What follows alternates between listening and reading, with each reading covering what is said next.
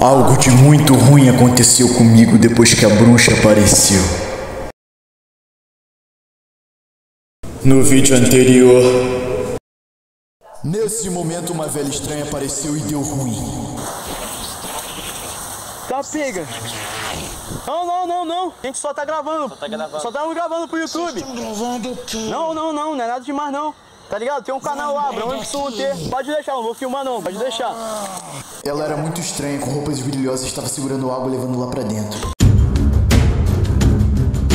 É, rapaziada, aconteceu uma coisa muito estranha comigo depois de ir naquelas lendas, tá ligado? Mas foi depois de pisar naquela mata perto daquela casa, né, mano? Que eu falei que parecia ser a casa da bruxa, né, mano? Na lenda. Então, assim, rapaziada, eu fiquei bem assustado mesmo quando, quando eu vi aqui que apareceu, né? Apareceu aqui onde eu piso, no meu pé, né, mano? Olha só como é que ficou isso daqui, velho. Parece, parece que arranhou, sei lá, mano. Não sei o que que aconteceu, mas tá ardendo, tá ligado? Vou ver se eu passo álcool aqui, se eu passo sabonete também, né, mano? Mas tá ardendo pra caramba e decidi trazer esse vídeo aqui pra vocês, porque, mano, pai nas lendas assim, até o outro tá gostando também, mas pai nessa lenda assim, mano, tem que bota, sapato, tá ligado? Não pode de chinelo, ainda mais assim, perto de algo que pode ter sido realmente amaldiçoado por uma bruxa, né? Então, mano, o que eu achei estranho nisso daqui, rapaziada, até pisei aqui, ficou um pouco sujo, né, mano? Mas se liga só, velho, apareceu até marca aqui, ai caramba, apareceu até marca aqui também, né, mano?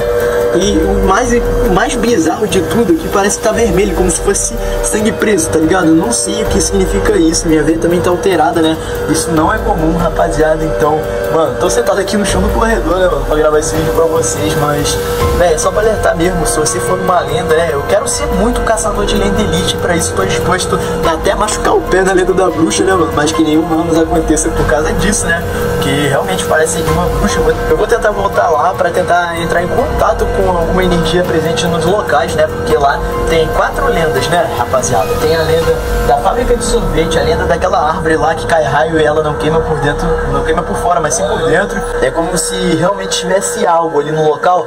E não é bom ir sozinho também, né, mano? Eu falei até com ele, pô, bicho, tu fica indo sozinho, ele com o pai dele lá para ver o cavalo, ele amarrava o cavalo dele lá e ele não tá nem mais deixando, porque ele tá encontrando coisas que ele nunca viu no local e ele não sabe se é pessoa ou se é coisa sobrenatural, se é espiritual, né, mano? Mas também tem evidências, né, mano? Tem caixa de fósforo, tem algumas coisas bizarras lá, não sei se vai, vai alguém lá fazer rituais, né, mano? A gente vê essa lenda aí do que o Renato Garcia vai com os caçadores de lendas, igual a lenda lá da igreja, né, mano? Tem gente fazendo ritual, vai que, sei lá, mano, a gente não sabe, né? Vai que de madrugada vai alguém lá fazer ritual, de roupa preta com alguma vela, né, mano? Queimando. Tá maluco, mano. Igual de Bohemian Groove, tá ligado? Tem uma floresta lá nos Estados Unidos que eles dizem que reúne os maiores bilionários da face da Terra e eles fazem, tipo, até. Mano, bagulho louco lá? Se vocês querem saber mais, é, deixa nos comentários que eu trago um vídeo específico pra isso, mas esse vídeo é mais pra dizer pra vocês que eu tô achando bem bizarro isso. Comenta aí, né, mano, o que, que eu devo fazer, se eu devo jogar álcool, comprar algum remédio de alergia, né? Parece que tá sarando, né, mano? Parece que tá desaparecendo aqui, mas ainda tá meio vermelho, né, velho? Achei isso muito estranho. Foi depois de pisar lá na casa da bruxa, né? Nome é assim porque a mata em volta é queimada e a gente vai tentar fazer comunicação pra voltar lá. Eu e meu amigo Tobias, eu tô indo pra, eu tô indo pra ir também na casa dele, né, mano? Pra gente filmar lá os animais dele. Mas antes eu vou dar um toque, né, mano? Pra ele preparar tudo lá pra eu filmar. Então é isso, rapaz. Vou ver até se eu almoço na casa do Tobias. Tobias que tá assistindo esse vídeo.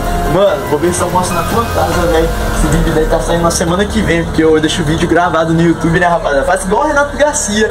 Então esse já é mais um treino para ser um caçador de lenda elite, né, rapaz? Tô me dedicando, tô dando meu sangue, literalmente, né, mano? Dando sangue pra ser caçador de lenda, né, rapaziada? Porque machuquei o pé lá na lenda da casa da bruxa por algum motivo sobrenatural. Acredito que seja isso, porque mato não foi, mano. Não senti nada cortando lá na hora, tá ligado? Foi depois que eu cheguei em casa que eu comecei a sentir a ardência, tá ligado? No pé. Então, assim, esse foi mais um treinamento para ser um caçador de lenda elite em busca, né, mano, desse sonho. E é isso. Você que me apoia, deixe seu comentário aqui.